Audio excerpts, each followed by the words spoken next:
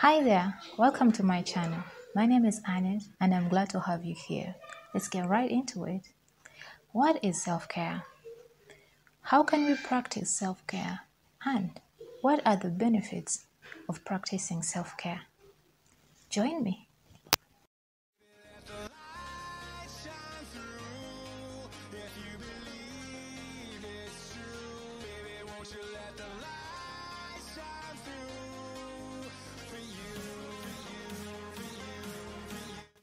Self care, by definition, is anything you do to be good to yourself. This involves positive things that impact us mentally, emotionally, and physically.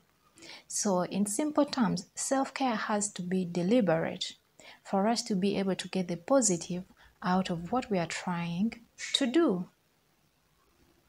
So, how can we practice self care? Physical self care. Physical self care basically involves activities that physically impact our health.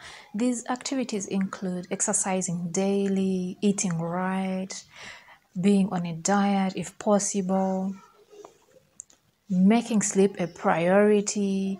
These are all activities that help rejuvenate our body and keep our body in check. It is very vital that we add physical activities in our lives because physical activities not only impact our physical body but they also impact our mental health. Reason being, when you're doing physical activities, they help you release stress. For instance, personally, sometimes when I'm angry, I go do a workout a simple workout to help me calm down. Since it involves coordinating, it distracts my brain from that negative thing that was pissing me off. Consider involving any physical activity in your life as part of your self care routine. Mental self care. Well, the way you think and the things that you fill your mind with greatly influence your psychological well being. So the question is what are you really feeding your mind? Is it really driving your mind to a healthier state or the opposite? Yeah. Such activities uh, may include like puzzles. Those are kind of challenging for our brain. You have to identify which which piece fits where. That, that, that involves reading about a subject that fascinates you. Maybe watching movies. We have science fictions. We have detectives. And thinking about the accomplishments you have you, you have that also improves our mental well-being. Because if you think about your accomplishments your mental health is going to be healthier, it's going to be more positive since those are victories other than thinking about your failures. So we need to watch what we think and what we feed our mind. Emotional self care. Well, it's important to have healthy coping skills to make sure we fully engage our emotions. These activities should help us express ourselves better on a daily basis. Such activities include spending time with family, with friends, people that don't put you down, letting yourself cry when you need to. And if you nurture a healthy, if you, if you develop emotional self-care, you can easily adapt to you to different working environments.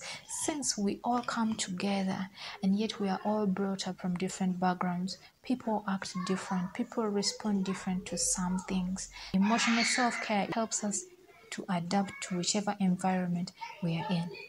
Social self care. Close connections are important for our well being. And the best way to cultivate and maintain good relationships is by creating time in your schedule to cultivate those relationships. How can we develop social self care?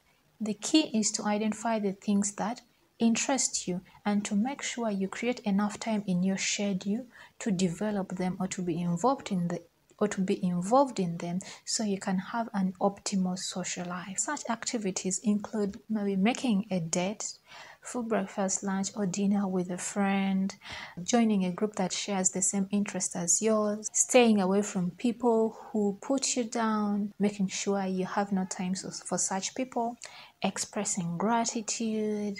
Those are some of the things that help us develop our social self care. So, what are the benefits of self care?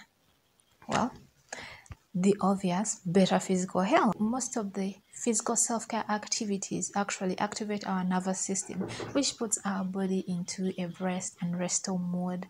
Like the activities that we do actually force us to have better rest. For, for, for example, if you exercise, you sleep better. And at the end of it all, it puts your body in a restore in a restore mode and it also improves our immune system hence a better healthy life. Is better productivity. You see when you start practicing self-care you start saying no to some things. And when you start saying no to some things you learn to prioritize. When you learn prioritizing you start allocating time to the things that matter most. And when you allocate things when you allocate the time according to the things that matter most it brings your goals to a sharper focus. So you're able to focus on the things that matter.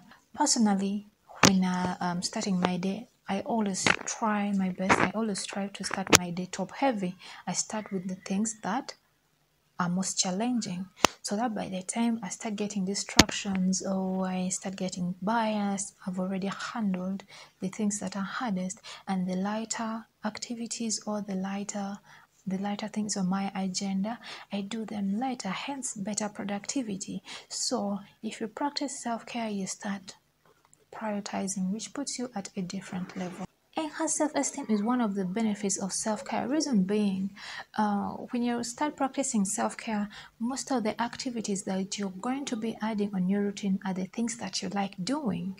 And if you work with the things that you like doing you happily do them and that puts you in a better place yeah? So uh, let's say for instance if you practice words of affirmation if you, because self-care is deliberate you're not going to be talking to yourself negatively. That means you'll be doing more positive self-talk and less negative self-talk. And the more you do positive self talk that will elevate your confidence and your self esteem, which will put you in a better place. I, I, I think that is worth doing self care. Healthy relationships with ourselves and others.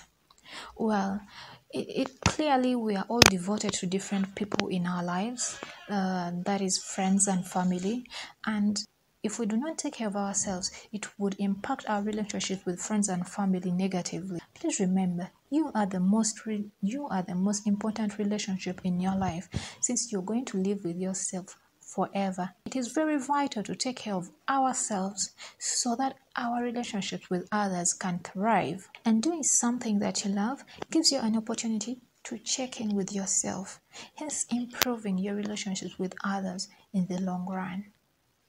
Increased self knowledge.